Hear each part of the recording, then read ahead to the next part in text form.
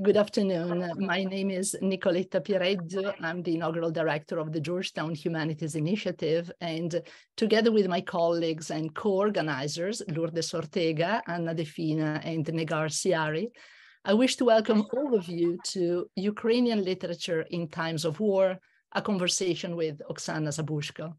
This is the third event of our Global Humanities Seminar Series, understanding and including forced migrants and refugees responses from the humanities. We wish to thank the Office of the Vice President for Global Engagement for the grant that has made this project possible, the Department of Slavic Languages and Literatures for partnering with us, and Lindellis and the, the college Zoom team for their technical support. Let me add that this webinar is being recorded.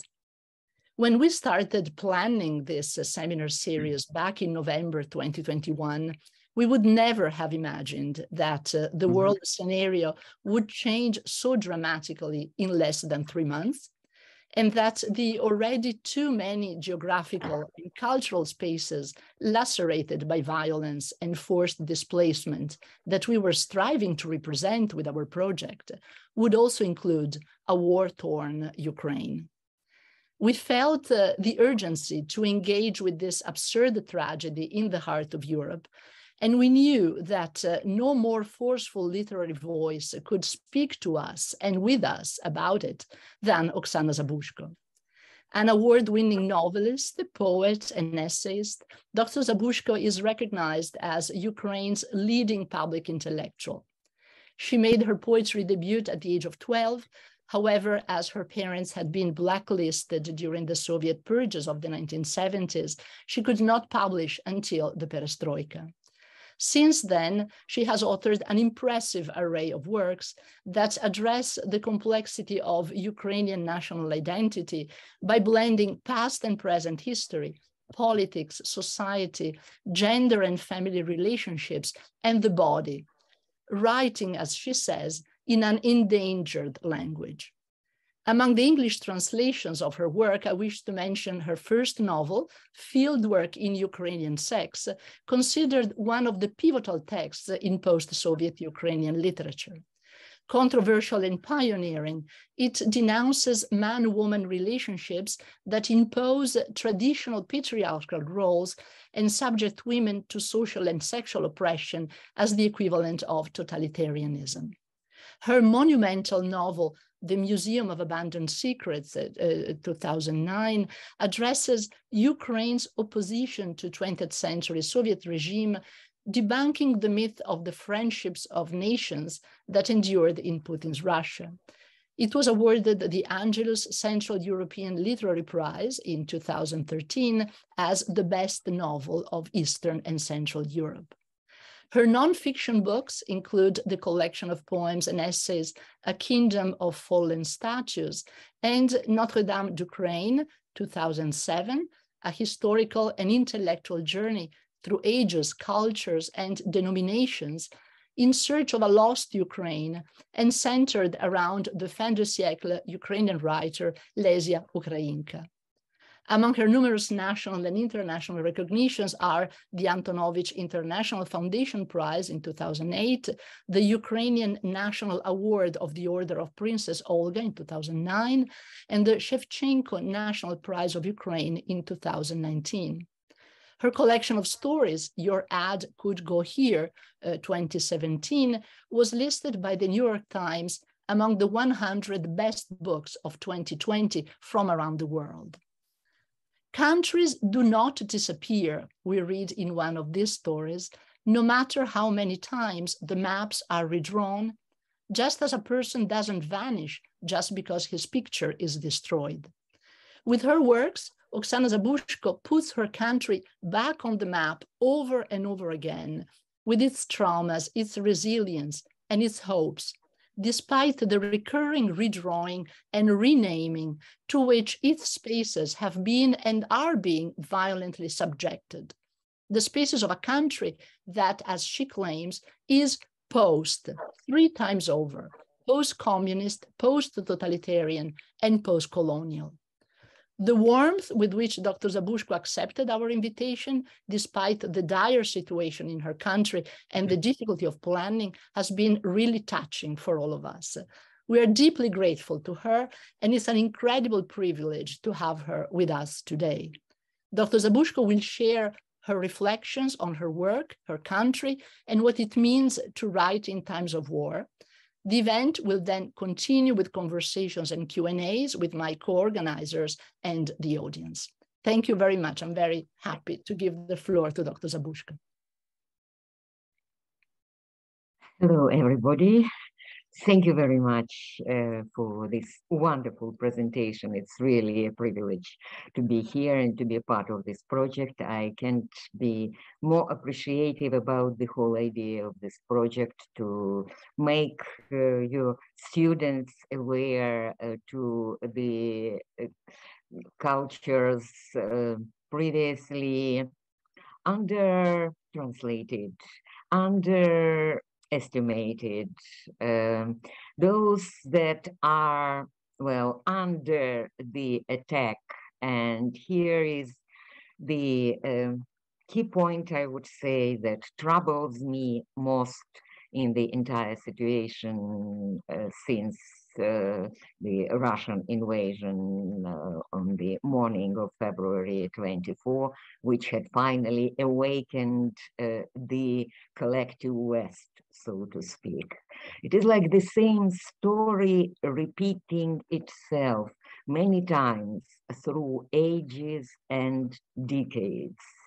Um, that, um, yes, uh, first, there should be a war, there should be, uh, well, a coup or, uh, well, some atrocities, uh, some, I don't know, totalitarian regime, whatever else, to get the attention uh, to the rest of the world that this territory actually can be interesting also uh, in the cultural aspect. That it includes that it is it has been inhabited through all this time when we were not looking. It has been inhabited with generations after generations of people who were busy uh, creating culture, painting, uh, writing, uh, singing, uh, playing musical instruments, creating this unique and irreproducible world of theirs that we are used to associate with the word culture. And um, somehow, every time it is only after some violence comes up to the stage of history that culture makes it to the stage. Uh, well, I, uh, as someone who has been, uh, someone who was born uh, and grew up in the Soviet Union and who was studying Marx in uh, my students year for longer than I wanted. Mm, I hate um, sounding more Marxist uh, than I actually am, but I really can't but recall this horrible, actually, uh, if you think about it in humanist terms, this horrible saying by him, the horrible formula about violence being the midwife of history. Uh, and yes, uh, now uh, being, um, well, now I would say Ukrainian writers myself included, uh, we are the beneficiaries, so to speak, of the victories of the Ukrainian army.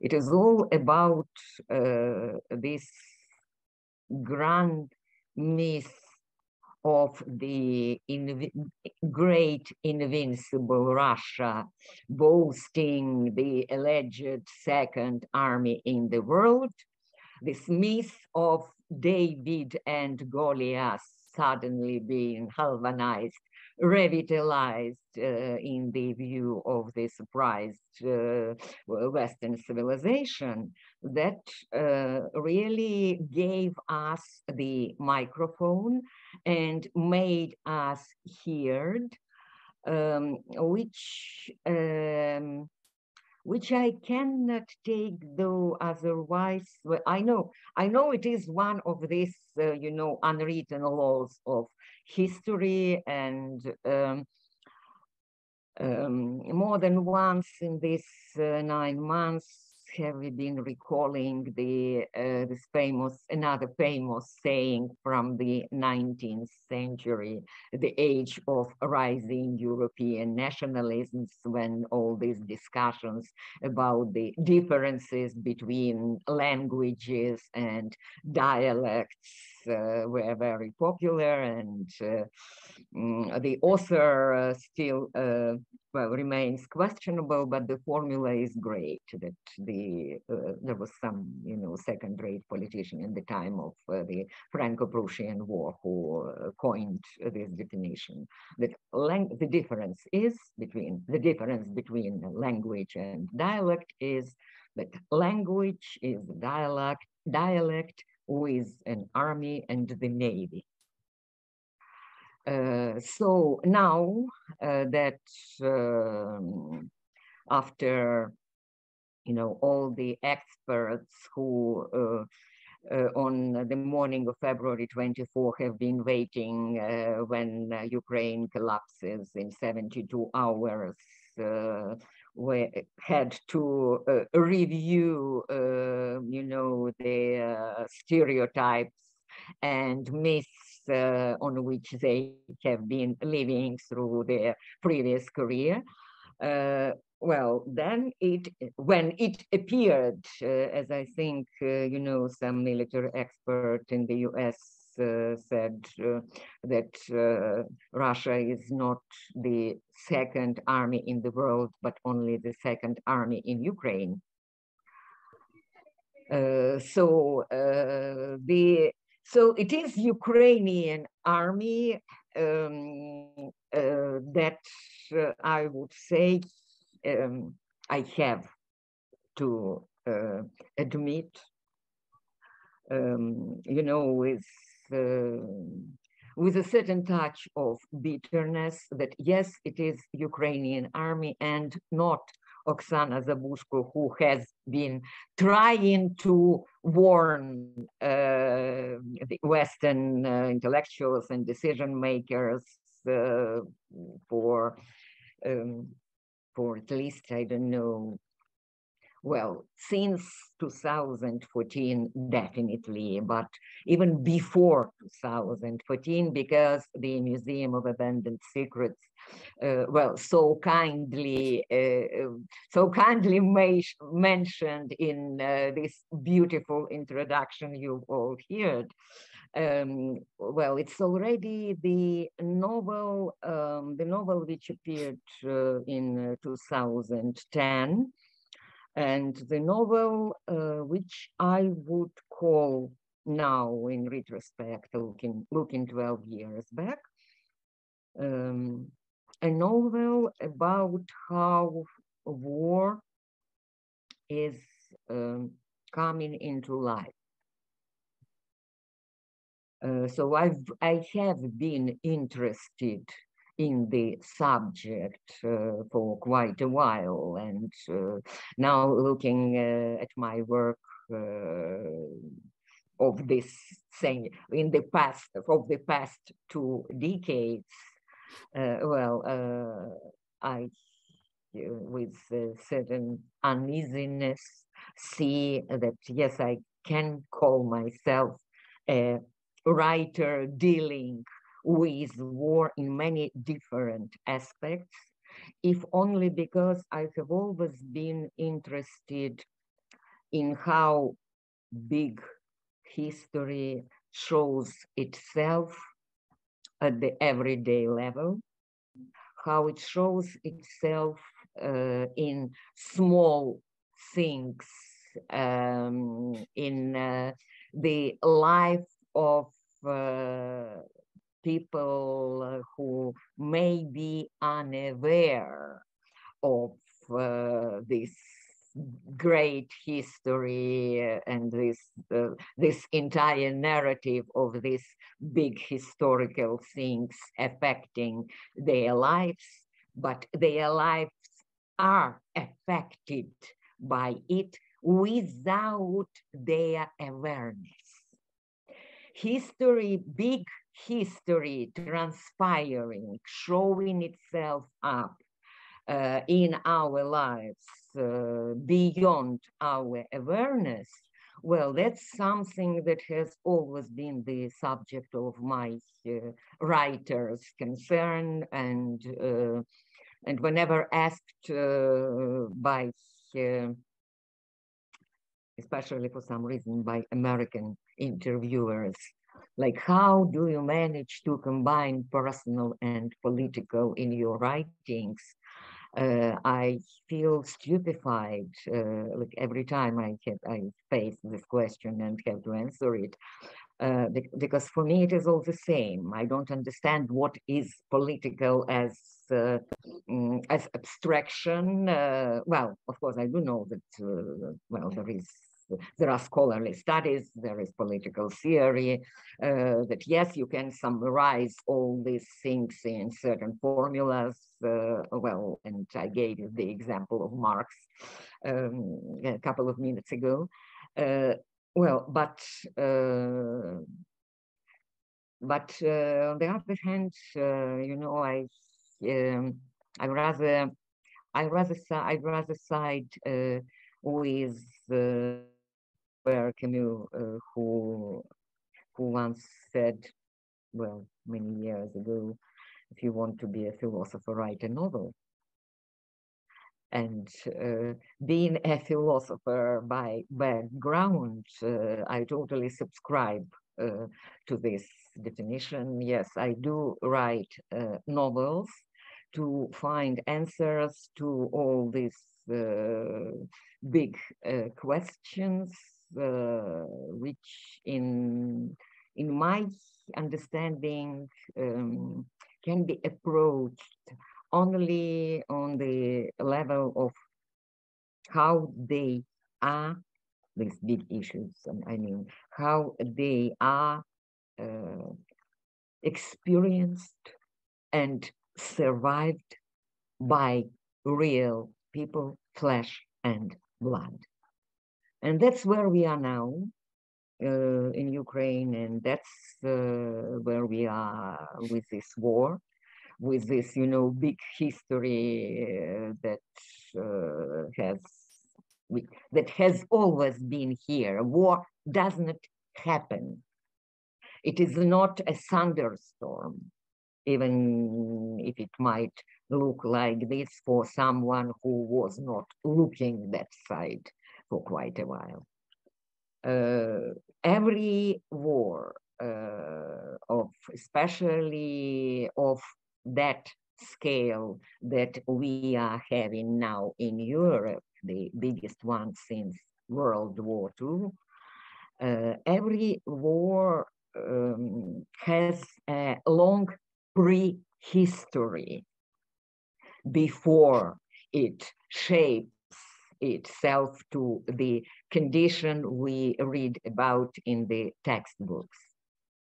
And the way it shapes itself, the way this number of system errors in societies get gets amassed um, to the to some point of no return when it cannot be uh, repaired and it cannot be, I mean, this toothpaste cannot be squeezed back into the tube.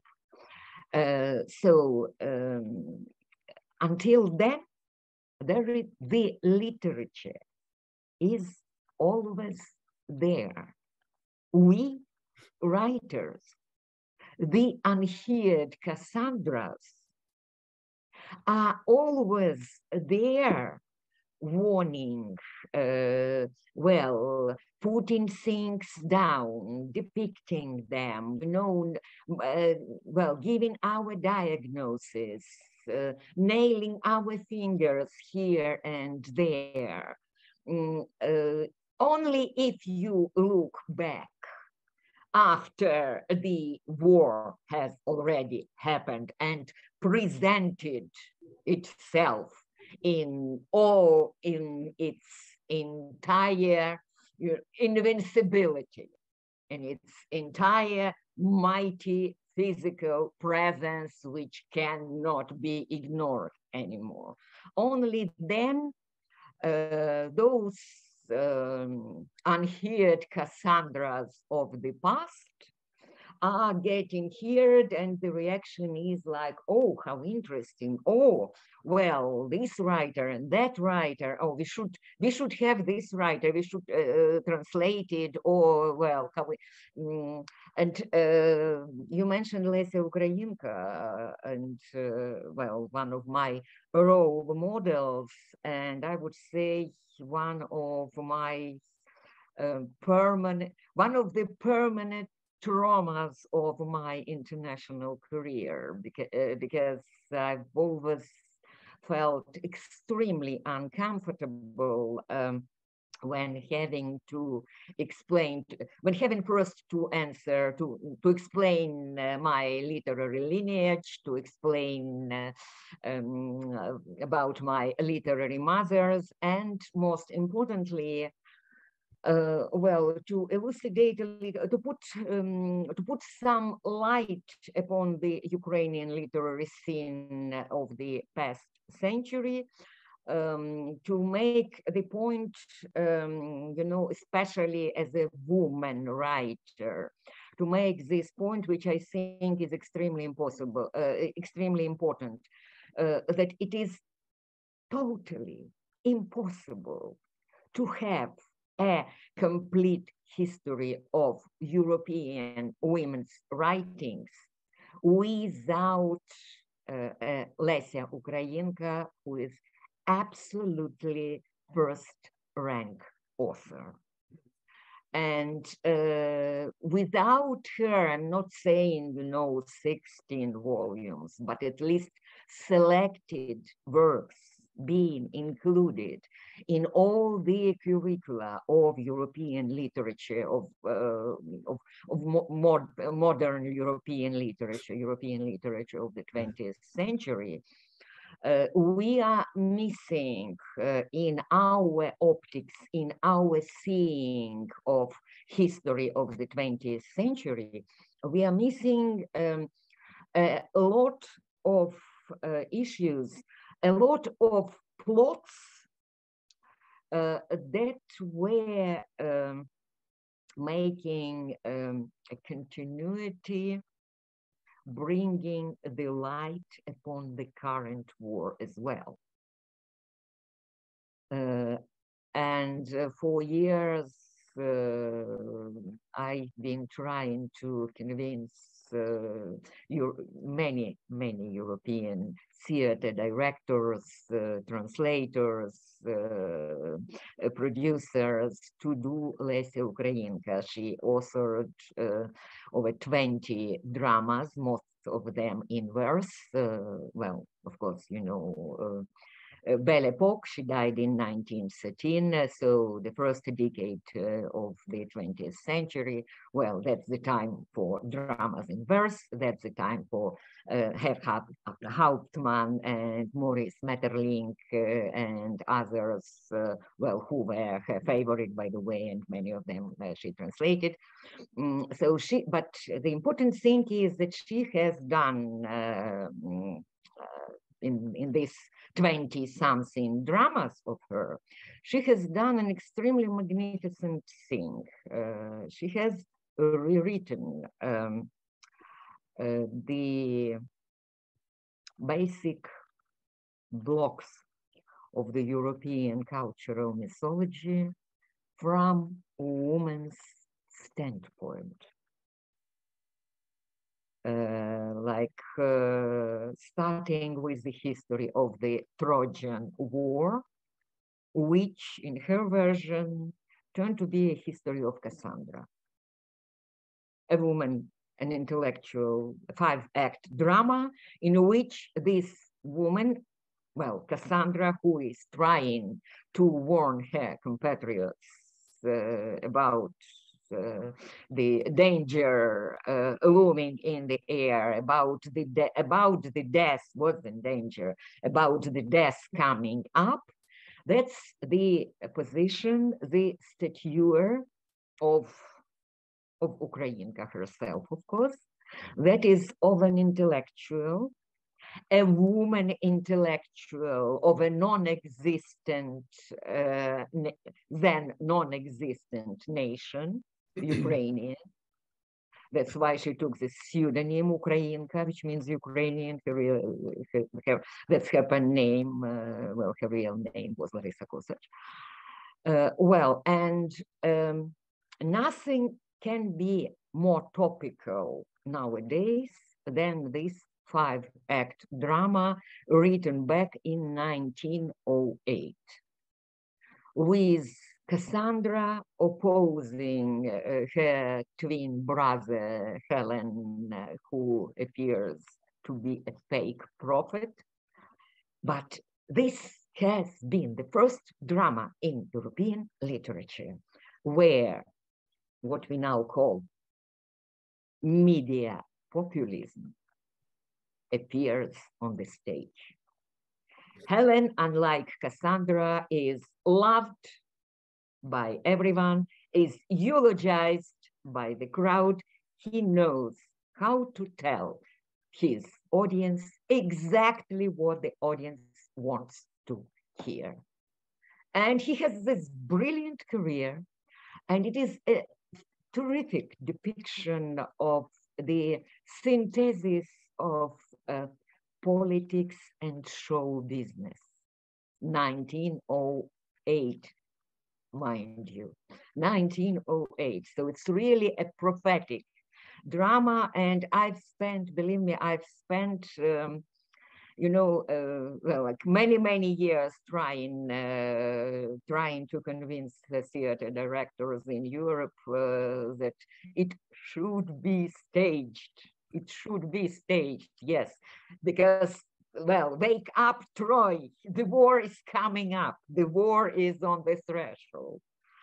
Um, and finally, finally, this October, uh, Cassandra Lesia Ukrainka was staged uh, by Theatre Omnibus in London. And uh, yes, it is big big discovery, and uh, I think there will be uh, well more of her place uh, on stage and time like to time to discover something of uh, of Ukraine, of Ukrainian classic, of the highlights of Ukrainian literature. Well, but uh, that's again um, like the um, like an extra proof uh, of what I've been trying to say, uh, what I've been trying to say before, um, uh, that uh, the tanks are still more convincing than the words.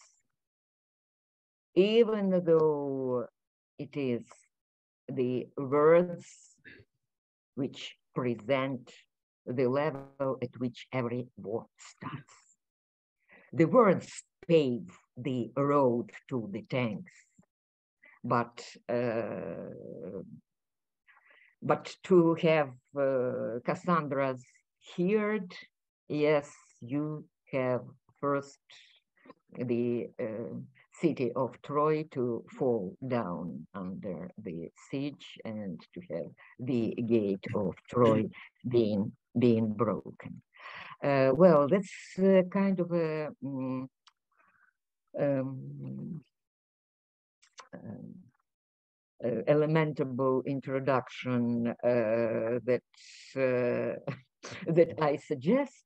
Uh, and yes, I, I have been, if only because I have been named Cassandra many times through these nine months, uh, but um, I did not, I was not taking it as a compliment. Uh, yes, I have been trying to, well, to do my warnings, so to speak, um, but only, but in vain mostly, uh, and only this March, um, uh, I got a phone call from uh, the one of the European publishers um, actually my agent, to be precise, got a phone call from one of the um, European publishers who asked me to write um, as soon as possible, of course, because uh, it's a commercial thing, yes, um, to write uh, something what they call, uh, well, pamphlet or brochure or book-long essay, so to speak, uh, to explain mind the formula, um, to the Western audience what we have missed in the context of this war in the past eight years. My question was, why eight? So uh, I ended up, so this spring, uh, well, I, uh, I focused when when the fate of the battle for Kiev was, yet undecided, uh, I, uh, I, I locked myself, um, you know, in the room, and I've done uh, this. Uh, 100 something uh, thousand characters as promised uh, and this essay called originally my longest book tour turned to be the first, my first book written at the pub at the publisher's request. Not because I wanted to, uh, not because I was trying to find uh, in it some answers to the questions that were bothering me, like uh, I usually do. Uh, well, but uh, well, I've done my part, uh, and uh, and I've done it on two levels. So it is like thirty years long story. The story uh, which started in 1989 with the alleged uh, end of the um, old war which proved to be uh, not exactly the case, and I'm I'm uh, I'm following and uh, tracing why it was not the case and why this war was inevitable and why it's been in preparation for this entire 30 years, why the West was duped into believing um, that's the biggest question how the west was duped into believing that the uh, Cold War is over, that the West has won the Cold War, and since now on, Russia will become a normal country, so to speak, a normal democratic country, uh, well, quite um, ready for the dialogue and for mutually beneficial cooperation. Uh, so where was this mistake? Very important system error. Uh, and then the second part uh, is the 300 years long story, which is the story of Ukrainian-Russian relations starting mm, back in the 17th century, not before. Uh, we, we were not acquainted before with the Russians um, not before the 17th century. Uh, and this uh, 300 years uh, relationship and Ukrainian part in creating, building um, Russian empire, trying to modernize um, or rather to borrow a European face uh, to the Muscovy to create this Orthodox empire. That's another exciting story. So now this book, which appeared well already in, uh, in Swedish, in German, in um, in Norwegian, I came from Oslo three years, three days ago, uh, where the book was presented, and now is appearing in, uh, in, in in other languages. So that's my, I would say, conscription. That's my immediate conscription. That's what I take as my most immediate conscription, but something which was not the work of my choice. Uh, and uh, thank you. getting back like getting back you know to the title of uh, this um, to the title of our con uh, conversation and the title of my brief presentation which which should be already ended. Yes i'm taking too long. Uh, sorry.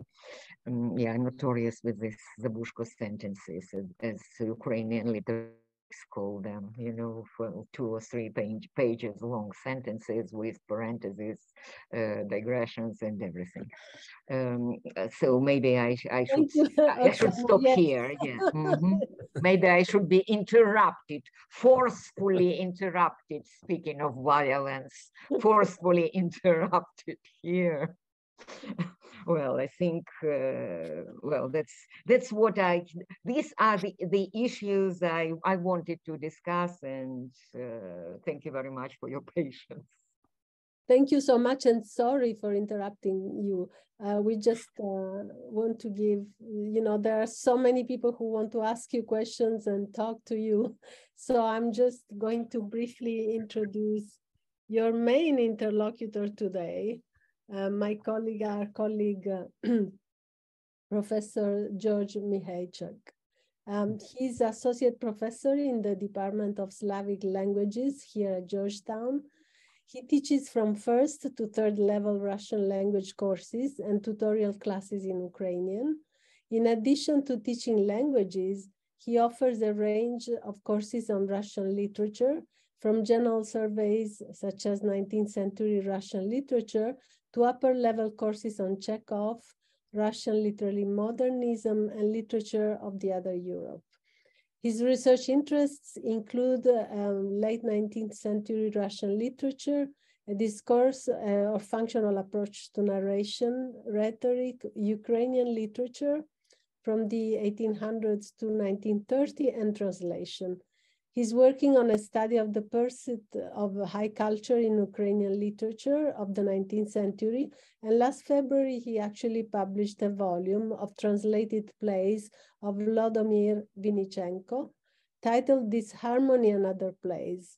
Uh, so I, before I give the floor to George, let me remind the audience that you can uh, post your questions on the question answer using the question answer function, and we will try to, to give, you know, uh, the floor to as many of you as possible. Uh, we'll first have questions, uh, this discussion with, the, well, conversation with uh, Professor Mihaychuk, and then um, a few questions from the panelists, and then we'll open the floor to other questions. Thank you so much, and sorry for interrupting you, Oksana. No, no, no, that was a, right, a very right thing to do. Well, thank you. Thank you, Anna, for uh, your introduction. Uh, Oksana, I want to thank you very much for being here. We're really very glad to have you participate. Um, one of the questions I'd like to start with is I'd like to bring up or raise an image or concept of the last of the Mohicans. You know, Fenimore Cooper's novel, where mm -hmm. there's that sense, and as a child of immigrant parents, that the burden of continuing the culture rests upon you. And if you fail, it will disappear. And so I wanted to ask uh, how this played out in your life and your work, particularly in the Soviet period. And then, of course, the sense of freedom after the post Soviet period, only to be faced again with this existential crisis. Uh, you know, George, to be sincere, it still does. I mean, it did not end with uh, the collapse of the Soviet Union. Mm -hmm. um, it is, uh, maybe it's due to the fact of my being a woman. And uh, we still, uh, okay, yeah, like as a woman, you still have to prove something. Mm -hmm. Uh, this has been the case in the 90s uh, when I was, uh, would say, the only one and only woman of my uh, of my generation of writers there was also a, there was a literary critic, Solomia Pavlychko, who has done uh, uh, an amazing job in introducing feminism, uh, you know, into Ukrainian, into post-Soviet Ukrainian culture and mentality. Mm, well, but basically, you know, it's I mean, it explains this revolutionary role of the field field work in Ukrainian sex when it when the novel was published in 1996.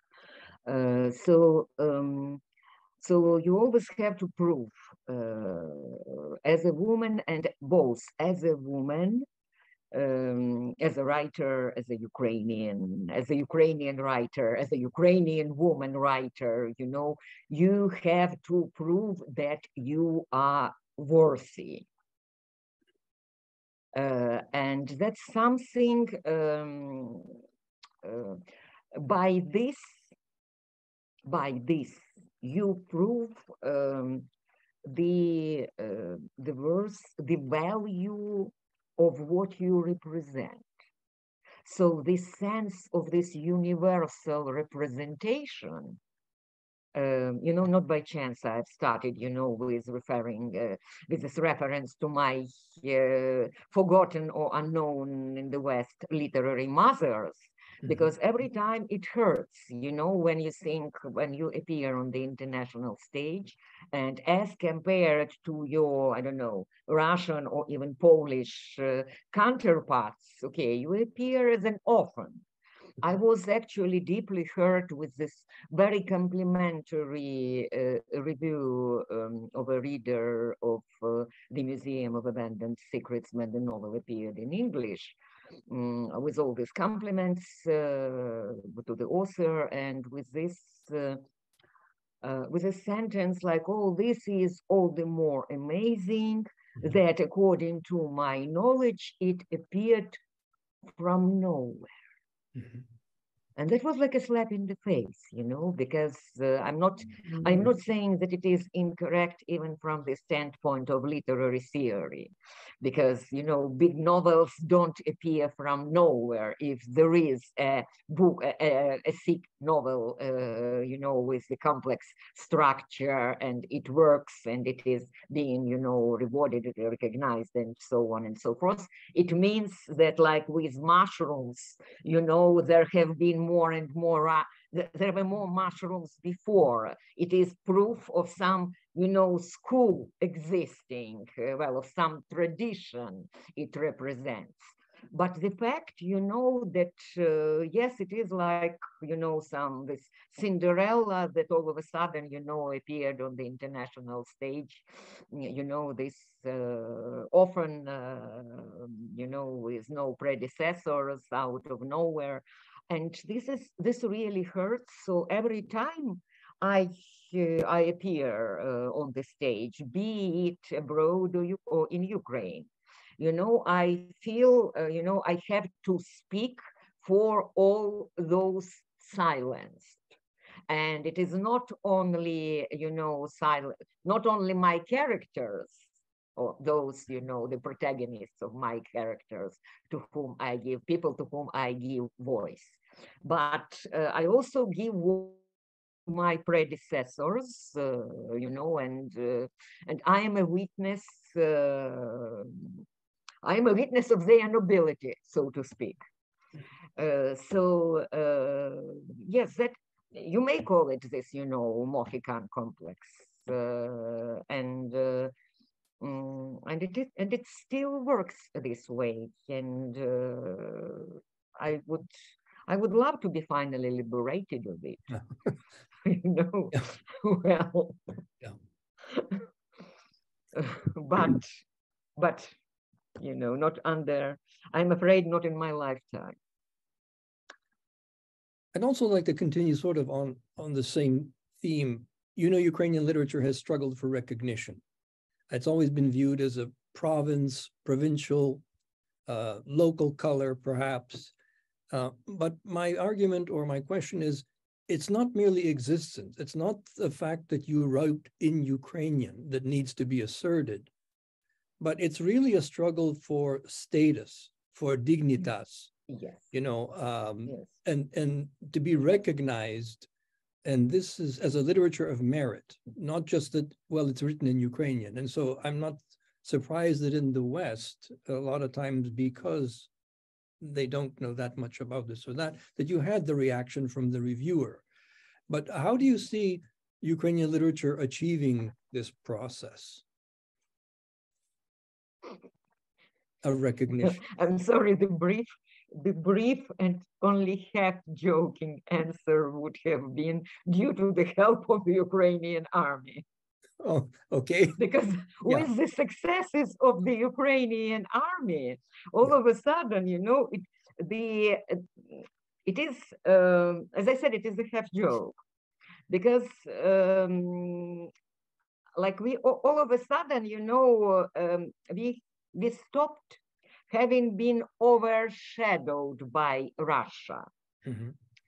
and also um, all of a sudden, you know, we've turned in the eyes of the rest of the world into a successful society because successful army is a proof of the successful society behind it Mm-hmm. Especially you know the army which is uh, relatively young and which uh, you know has been created some eight years ago due to the collective efforts volunteers uh, uh crowdfunding and all these things that were happening you know uh, mm, uh, well in the everyone could, could could have followed in the news you know how it was mm-hmm. happening so it is the result of a strong and vibrant civil society, of a very successful civil society, which, yes, you may identify with the successful nation. And this successful nation, yes, okay, implies that there might be some interesting culture behind. And then there is this, you know, cultural scene, which is all covered in blood because uh, part of the reason, well, actually the main reason that most of these uh, writers like Lesya Ukrainka are still unknown in the West is uh, that yes, they were um, um, they were either silenced uh, or officially or in, within the uh, Soviet uh, official Soviet culture or uh, more than once, uh, well, they were, they have fallen uh, the victims of the purges um, and uh, until culturally uh, not quite rehabilitated until now because cultural rehabilitation mm-hmm. takes longer than uh, the legislative one. And this process of cultural rehabilitation of our heritage, yes, it took us 30 years and uh, and it is going to take to take longer because well that's what you may call uh, what timothy snyder why tim snyder calls it a post-colonial war. And uh, all these post-colonial complexes with discovering or rediscovering a nation all this kind of stuff. Okay let's let's leave it you know uh, let's leave it somewhere behind the stage because because this is going to to, to take us further than than I would like to, and uh, then you'll have to interrupt me really, really, really by force because it, it is like the subject of the entire university uh, university course. I'm afraid. Uh, well, so yeah, I'm sorry. This time I'm interrupting myself. Uh, to continue a little bit on that, I'm I know that you're talking about visibility. In other words, Ukraine has become, let's say, visible in Western Europe and in the West. But the concern I have is the struggle with being acknowledged as a literature of merit. In other words, having the esteem not simply of, oh, these are those singing and dancing people, but that actually this is a literature equal to, as you said with Lesya Ukrainka, you know, that she can compare favorably with any of Western writers. So this is that kind of struggle maybe with tradition or adapting or copying, imitating whatever models in Western literature serve as, you know, this is the standard of what literature and culture should be. And how does Ukraine sort of try to find its own identity in its own literature and at the same time achieve a kind of esteem? And I'm sure that's an issue you must have faced uh, yourself. I mean, Milan Kundera went to Paris and wrote in French, right? Václav Havel stayed in Prague. So you, you have a difficult choice there. Uh, well, you know, what you've described, George, uh, can be, I think, defined as some kind of orientalistic stereotype applied to Ukraine. And yes, uh, it's colonial. It's very colonial image, and this colonial image comes is borrowed from Russian literature. So um, so we we can't avoid this subject. I mean, if you really want to see proper Ukraine, if you really want to see proper Ukrainian tradition, you have, you know, to take off this Russian imperialistic glasses.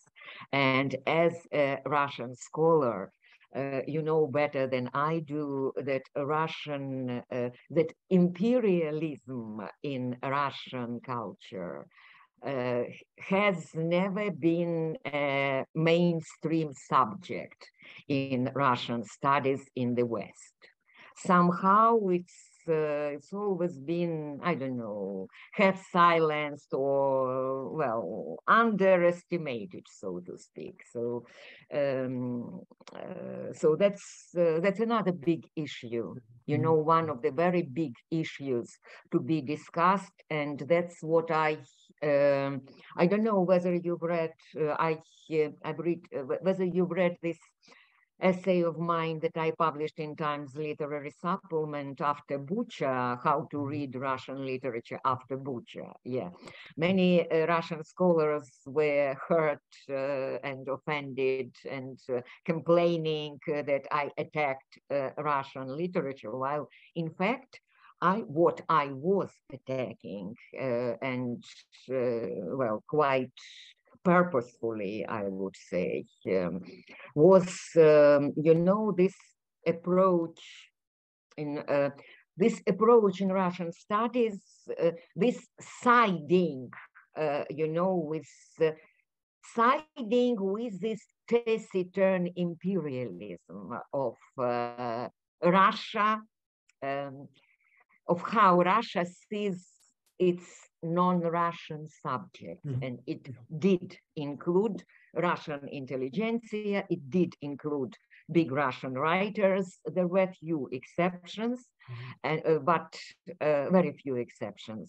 Uh, well, but um, uh, but this is something, you know, uh, this changing uh, the glasses, changing the optics, which I would, uh, I believe, uh, most topical issues, because in my um, deep conviction, um, it's one of the reasons um, that the West had been for um, all these 30 years staying blind to the rise of uh, the new totalitarianism in the northeast of Europe.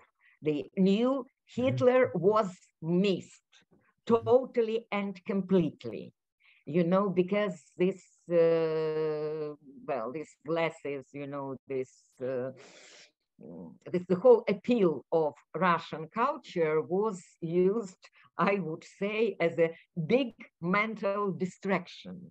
Mm-hmm. So somehow these spells should be deconstructed mm-hmm. now. Uh, so it is your time now. Mm-hmm. You're going to have, yeah, you and your colleagues are going to have full hands of work. Thank you, Oksana. Thank you very much. I appreciate your answers. Thank you. Thank you so very much, George and Oksana. And this is Lourdes Ortega, one of the organizers. I would like to ask our students, um, uh, panelists, to ask Oksana their questions. So let me first introduce uh, Jeremy. Jeremy Cohen is a first year master's uh, degree student in the Center for Eurasian, Russian, and East European Studies. And he focuses on the intersection of national memory, identity, and politics in Eurasia. And he has prepared one or two questions, maybe one question, Jeremy, and then we can ask Emily to ask her question. Yeah, definitely. Um, first, um, Gyaku, um, Zabuzhko, it's uh, been great to have you here today. Um, so my question to you um, stems from when I was uh, reading through the Museum of Abandoned Secrets. So um, first, throughout its history, Ukraine has had uh, exceptionally uh, exceptional linguistic, ethnic, uh, and religious diversity. Um, but as a result of the tragedies of the 20th century, um, the country has homogenized considerably. So that history is featured prominently in your own work, um, like I said, particularly in the Museum of Abandoned Secrets. So what role do you think that Ukrainian writers can play in keeping that diverse, uh, that legacy of diversity um, and what remains of it today? Uh, today um, alive and relevant in Ukrainian society?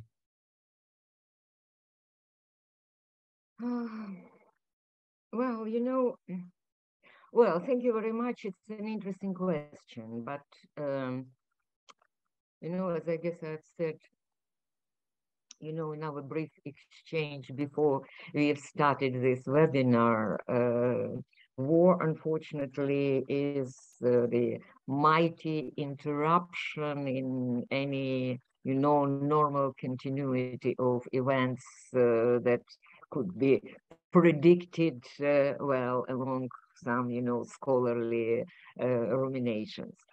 Um, so right now, I would say uh, it is it is an interruption, and it is uh, also I would say, um, outburst, you know, of of energy, uh, like you know, I said about this, you know, my personal conscription, you know, something uh, that yes, the nation under stress, the writers under stress, the new writers appearing on the stage, uh, um, new genres coming into action. Uh, and of course, yes, people sharing their experience. Uh, don't forget, it is, you know, what is extremely interesting uh, from the artistic point of view.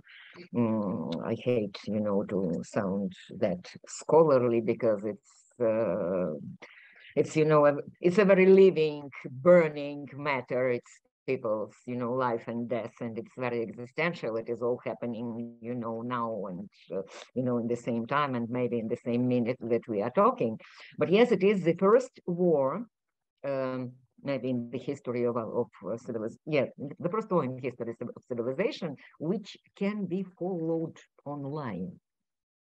If you wish, you really can spend, you know, well, 24 hours all around the clock watching uh, social media, watching uh, mm, these uh, short films posted by soldiers, by volunteers, well, something, uh, well, all this, you know, public journalism and everything. And it's extremely emotional thing, extremely emotional. That's something which does change, uh, and it already has changed, I would say, our understanding of the previous war.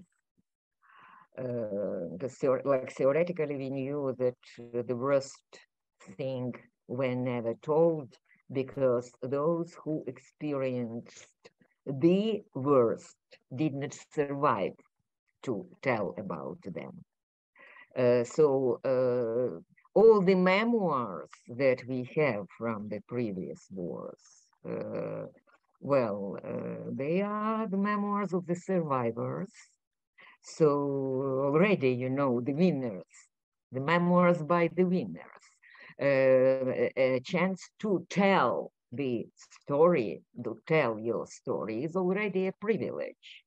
Mm, and uh, and it really like you know changes accents a little bit. So uh, to put it briefly, uh, well, as brief as I can, um, I really can't say how Ukrainian literature will get out of this grand challenge of this big, you know, trial of history in a couple of years.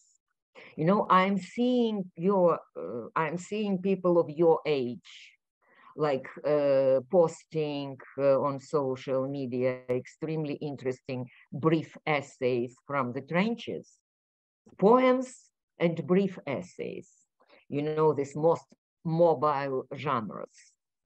And uh, well maybe something totally new will come out of this.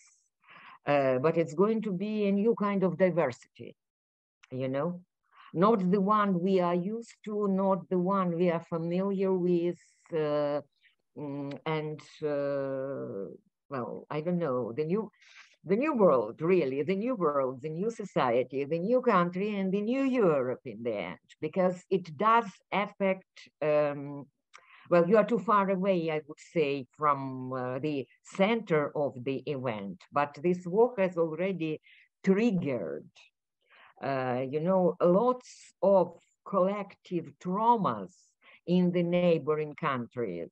Uh, like to give you a very brief example, a couple of weeks ago, I've been uh, on the panel in Barcelona with Sofi Oksanen, uh, the Finnish uh, writer you may know, uh, you may have read her Purge, uh, the novel which had been translated into 40 something languages. And well, she is actually, well, uh, very, mm, well, uh, critically acclaimed, uh, you know, award-winning writers, one of the, you know, most known of her generation of European writers.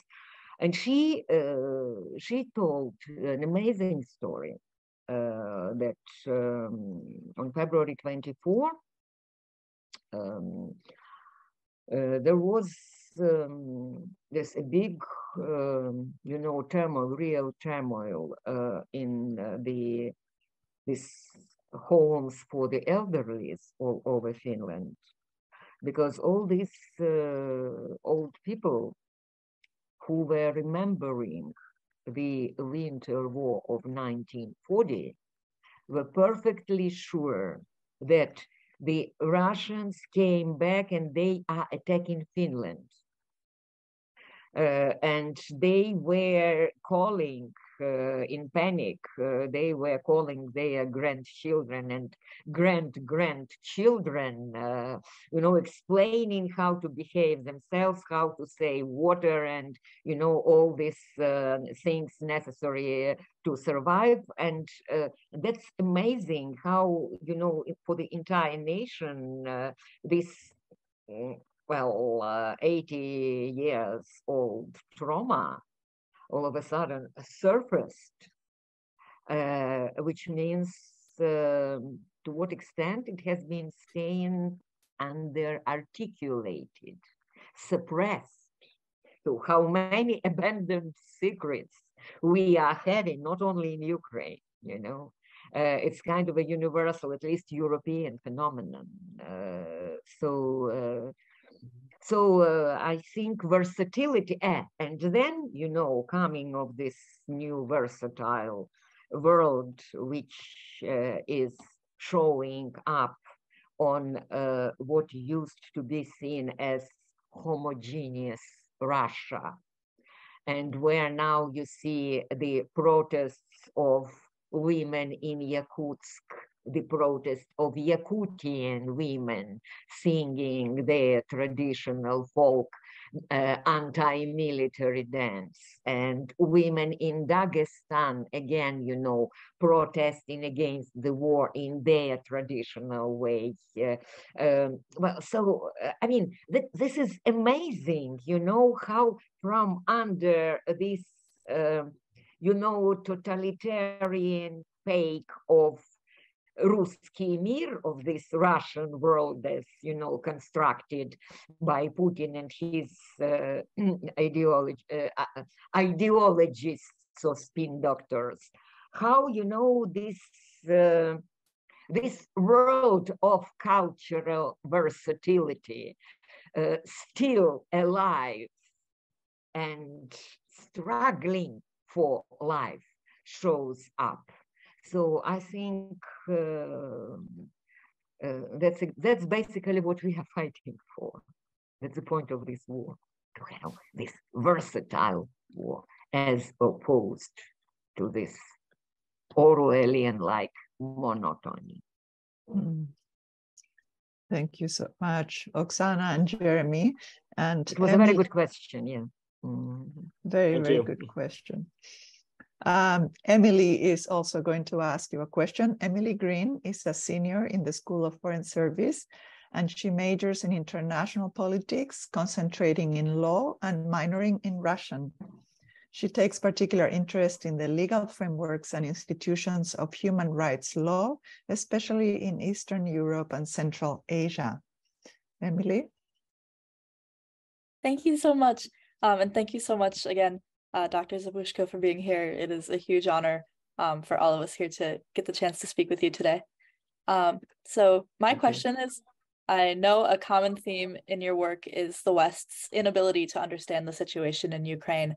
Um, and in your recent piece, No Guilty People in the World Reading Russian Literature After the Bucha mm-hmm. Massacre, um, mm-hmm. you criticize the Western realist perspective of thinkers like John Mearsheimer. And in mm-hmm. your work, an album for Gustav, we're introduced to the bewildered German photographer Gustav, who appears to mm-hmm. symbolize mm-hmm. the West's inability to truly understand Ukraine. Um, as a student of international politics, I'm curious to know your perspective on how Western policymakers can make better choices regarding Ukraine and how Western academics can really see and understand the situation, unlike our character Gustav. Oh, well, thank you. Um, thank you. It's, uh, you know, it's another question which would call for, I don't know, for an hour um, to be somehow covered. Um, but um, I think I think we should start with changing the university curricula,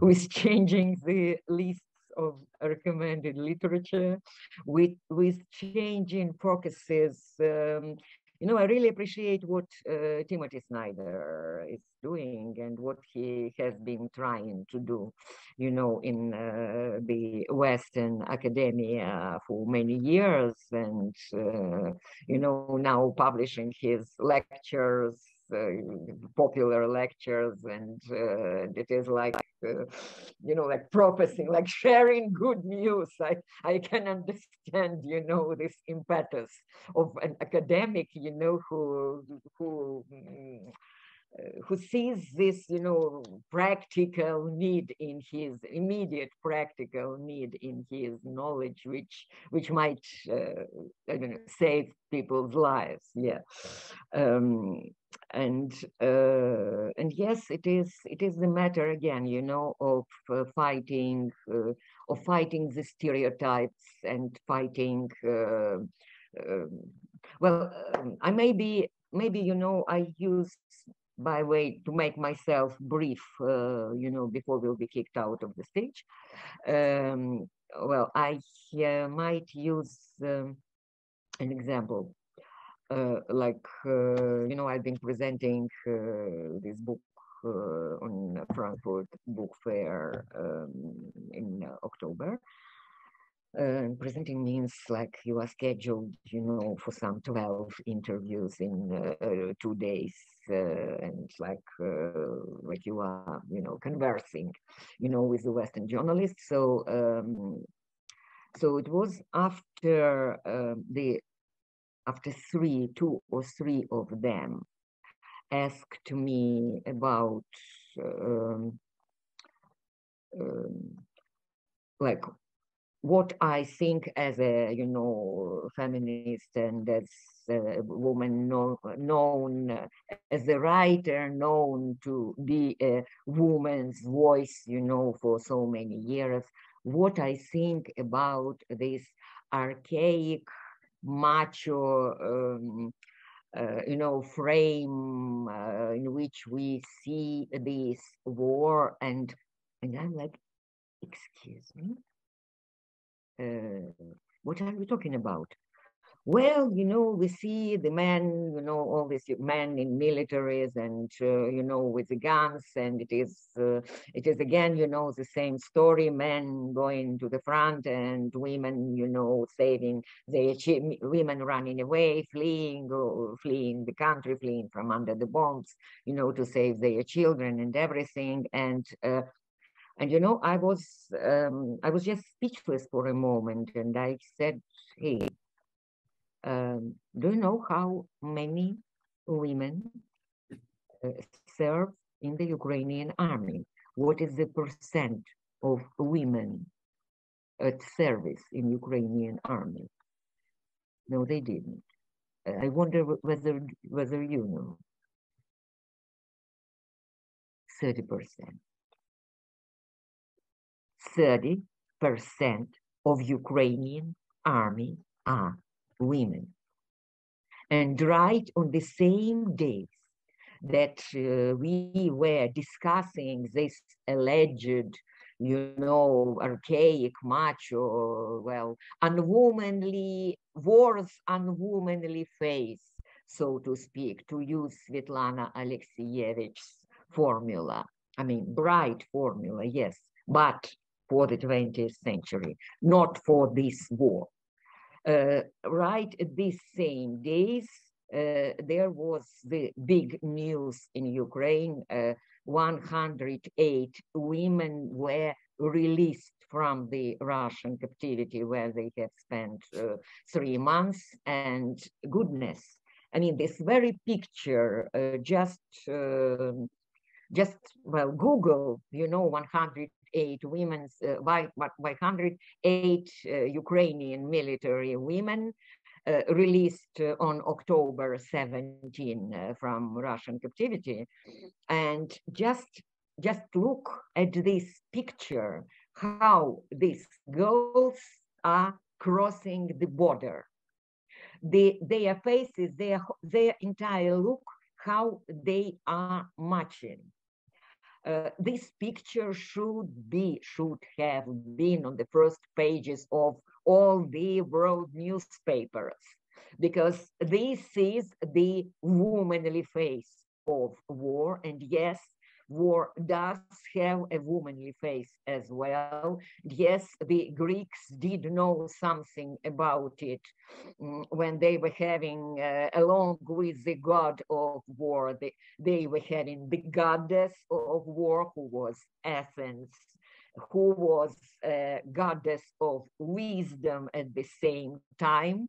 So while, you know, this uh, male face of war is more on the side of the, you know, physical domination, um, well, women are more about, I don't know, yes, wisdom, tactics, strategy, okay, being like physically um, physically weaker, okay, then they they can um, they can uh, you know play on the other field. But you know, since war is part of human activity, yes, it does have both faces, male, uh, male and female, and and nowhere else uh, it, can it be more visible than uh, nowadays in Ukraine in this war? And yes, we are proud of our girls.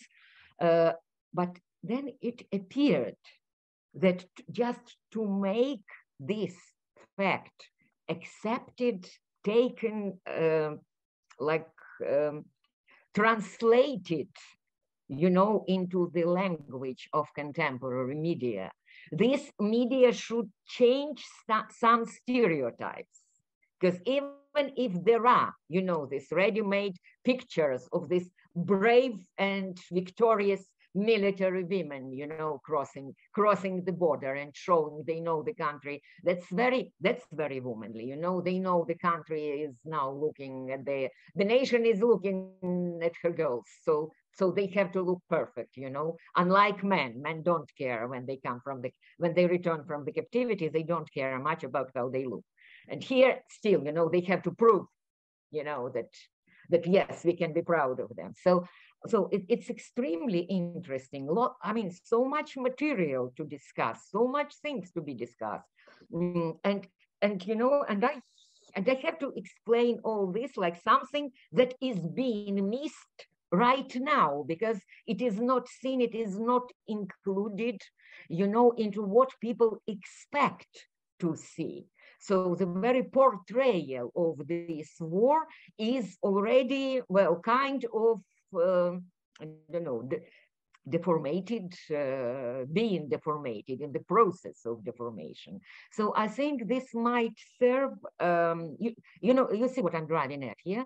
So this might be seen as a, as a good example, uh, well, what should be done.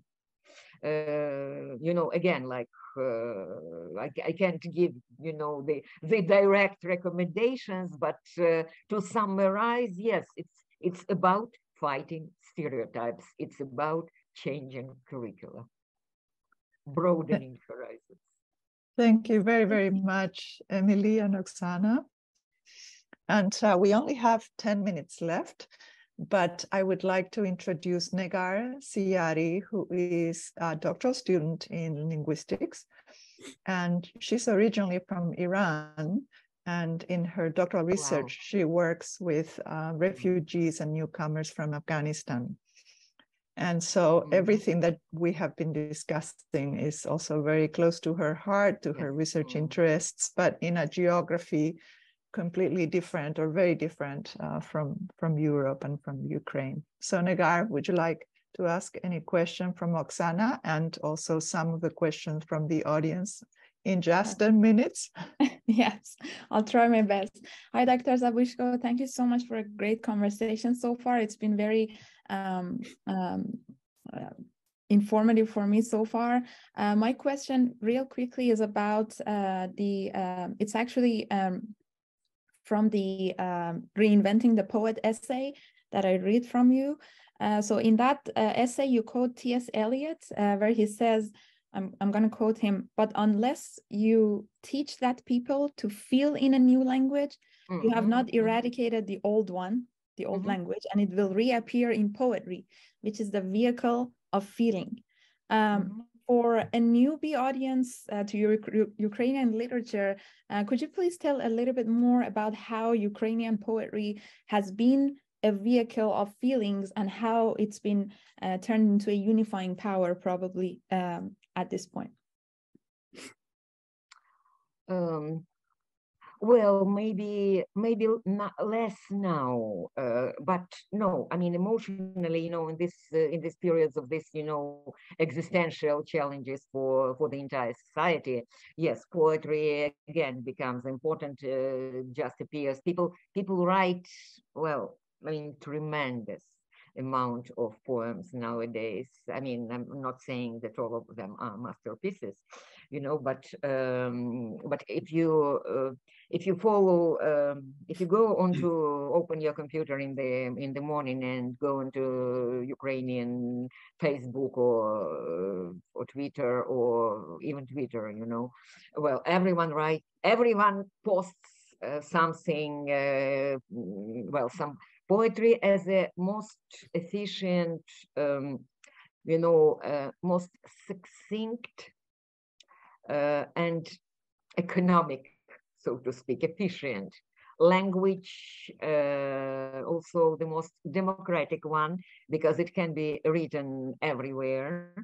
Uh, well, novel is something that calls for uh, the well-developed a society with established institutions which can afford paying people for uh, well for free time people having free time you know to get focused on creating, uh, on building a novel uh, like like the house is built.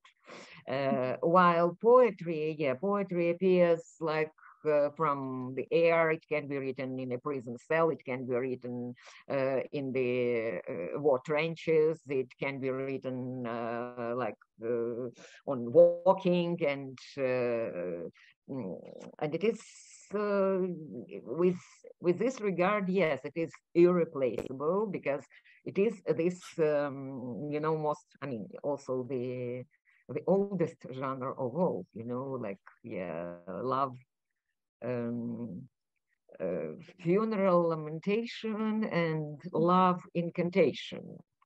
You mm-hmm. know, the original, the most primordial genres of literature, and yes, they are both poetry. So it is about, uh, yes, love and death, and that's where people, that's where people feel, um, where a human being feels that um, she needs another language mm. that the one which is used on the everyday level and in which you know we ask uh, we ask a neighbor to pass the salt uh, at the table yeah so um, so it is uh, in a way yes it is uh, you know this kind of a um, very close to the sacred languages of the of many religions, so mm -hmm. to speak. So it is our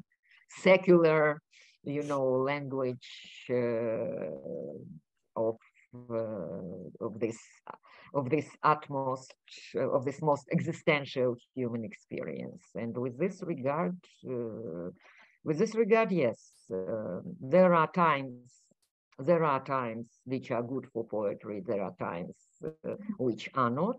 Mm-hmm. Uh, and yes, for Ukrainians, for, for Ukrainian literature, for Ukrainian culture, uh, poetry has always been uh, traditionally important, which is a proof that we were not having that much good times in our mm-hmm. history. Mm-hmm. Mm-hmm. Great, thank you so much. Uh, I'm gonna um, ask uh, a few questions from the audience. Um, uh, one question is, good day, Oksana. I am Irina from Kiev, now English language learner. With friends, we are reading now your book, Your Ad Could Go Here. -huh. My question about one story, girls. Oksana, what was the main message you wanted to send to readers? Uh, well, that's something, uh, uh, that's the question which, the question that always embarrasses me.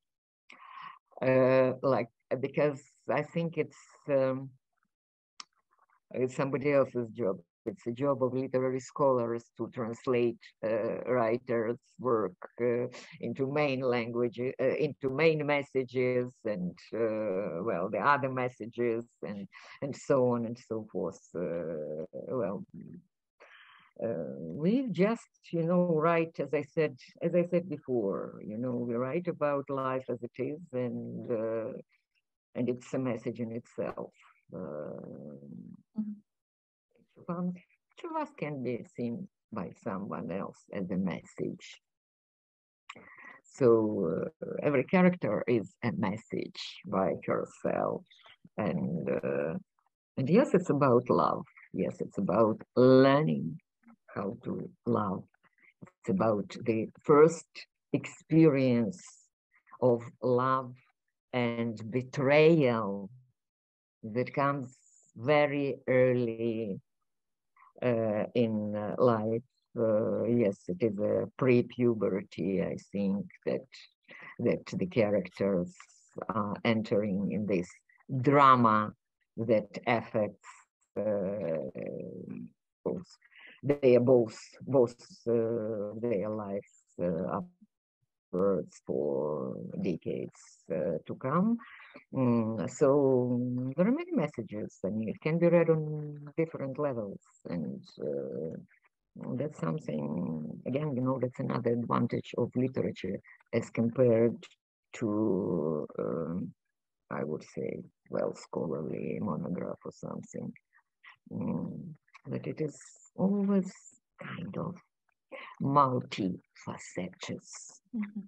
Um, it's always ambiguous. It all, it has different, you know, levels of meanings on which it can be read, and uh, and that's why it um, it can be read in uh, years, maybe in decades. Uh, well, this, this angles being changed, uh, mm, well, like like an onion, you know, level after level taken off.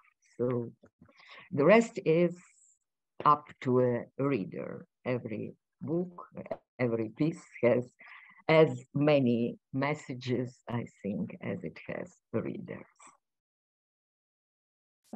Great.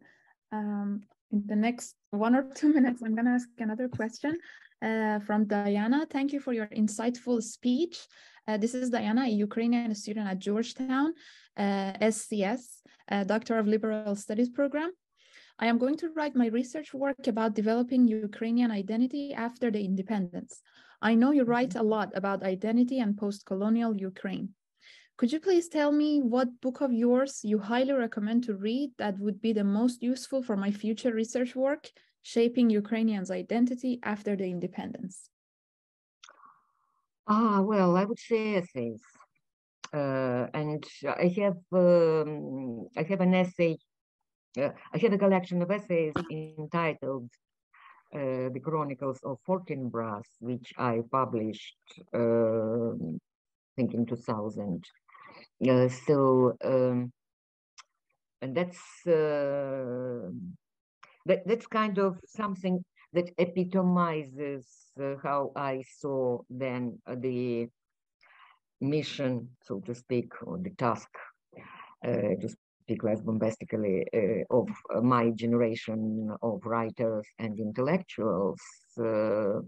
Uh, Fortinbras being, let me remind you, uh, in case you have forgotten, uh, the this character that appears in the end of Hamlet uh, and gives uh, the order uh, when when the stage is full of dead corpses, like everyone is already killed.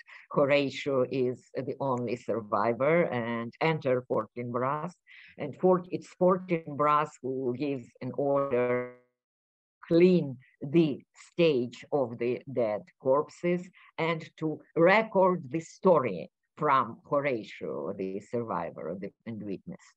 Uh, so I think it's very um, it's very important character in uh, Shakespeare, unfortunately underestimated. Uh, and this this I was seeing as mission of uh, my generation of intellectuals to clean after the 20th century and to record the story. And I have to, to be able like to move further. Uh, I have to say uh, that unfortunately my generation of Europeans screwed this mission up because if we did not, this war nowadays wouldn't have been possible. This war is precisely the continuation of all the missed and unlearned lessons of the 20th century. So I strongly recommend uh, Chroniki with Fortinbrasa, the Chronicles of Fortinbras, the essays of the 90s. They they already have, you know, all this, you know, intellectuals, intellectual plots and turns uh, that that have later been developed in my later works. Great. Awesome. Thank you so much, Dr. Zabuzhko, uh, our panelists, and uh, everyone who attended today. Uh, unfortunately, uh, we run out of time, so I uh, please, um, as you can see in the chat, you can go to our website and also use the Padlet link for discussion board in which you can ask additional questions from Dr. Zabuzhko uh, in there. Um, and uh, for your information, uh, our seminar series will continue in spring 2023. Uh, we will uh, keep you updated on our website regarding uh, the specific details of our next events.